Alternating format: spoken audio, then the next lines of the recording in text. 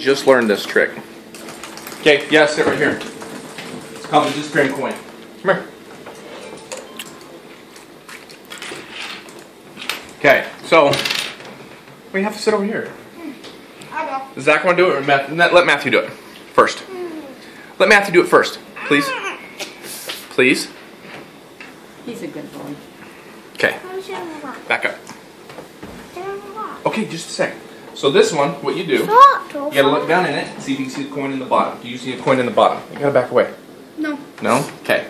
Now what you do, put the coin on the bottom.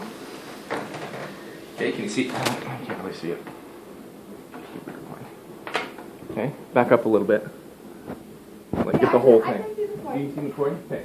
Now the whole trick is, the whole trick is, now, can you see the coin?